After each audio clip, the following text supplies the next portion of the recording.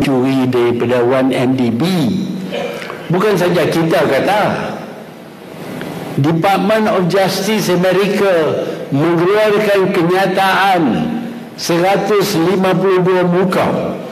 Keja- ke, kenyataan yang kedua 350 muka dengan secara terperinci menjelaskan bagaimana wang MDB ini telah dicuri oleh Datuk Seri Najib. Duit yang ada dalam akaun dia itu datang daripada 1MDB. Ini tuduhan jahat sungguh kerajaan Amerika Syarikat ni kudunya saya latih pengaruh. Wah, saya besar. Ha, saya kata ke Amerika buat macam ni, dia buat. Tambah Trump, dia kata, hey Trump, tangkap Najib, dia tangkap. Siapa nak percaya? Yang sebenarnya apa yang berlaku ialah jenayah ini berlaku di Amerika, bukan di Malaysia. Jenayah ini berlaku di Amerika. Duit yang dicuri itu dan ditukar untuk jadi wang Amerika dibuat di Amerika. Itu namanya money laundering, membersihkan wang pencurian. Bila kita curi duit, lepas tu tiba-tiba kita ada duit banyak, orang nanti tanya, eh awak dapat duit tu dari mana? Dah bayar income tax tak? Ha. Jadi nak bersihkan duit itu, duit yang dicuri itu dialih menjadi dolar Amerika.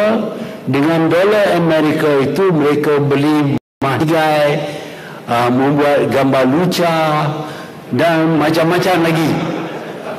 Ha, itu nak bersihkan duit. Kerajaan Amerika memang sedar akan perubahan ramai penyangak untuk membersihkan duit. Kalau buat di lain dia tak beli, tapi kalau buat di Amerika melibat, melibatkan mata wang Amerika, melibatkan bank-bank Amerika, harta-harta di Amerika, filem luca di Amerika, itu bermakna orang ini buat kesalahan di Amerika.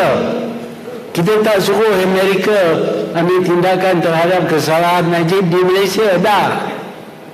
Dia ambil tindakan terhadap kesalahan yang dilakukan di Amerika.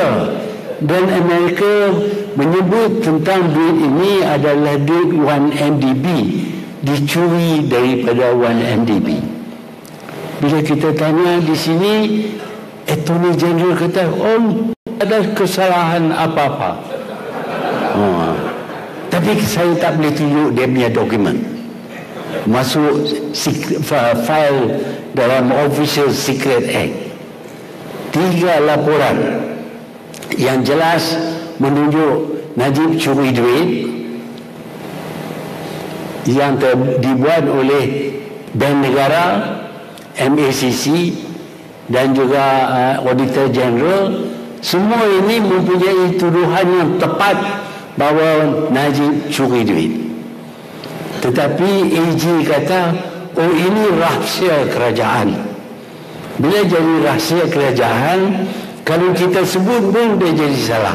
Kalau kita tahu apa isi kandungan laporan itu pun kita tak boleh sebut. Kalau kita sebut bermakna kita dah bocor rahsia dan tidak akan boleh diambil terhadap kita